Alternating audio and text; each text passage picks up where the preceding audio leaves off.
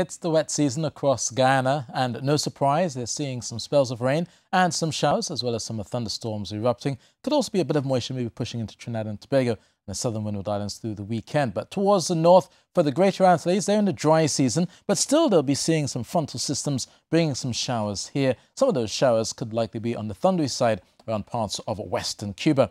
But for Jamaica, it's still quite breezy. There is the slight chance of a thunder shower around the hills, but for Santo Domingo and Port-au-Prince, still Breezy conditions expected here and maybe the stray thunder shower around the Haiti as they go through Friday. Now for the eastern the Caribbean, we have that mid to upper level ridge, which is basically going to keep conditions pretty calm across the Leeward Islands and then down towards the windwards as well. Still quite breezy for the most part, especially at the lower levels. You notice quite a bit of a wind coming through St. Vincent and Grenada. Then down towards Georgetown, we'll pick up those wet season rains and showers with only a high of 30 degrees Celsius.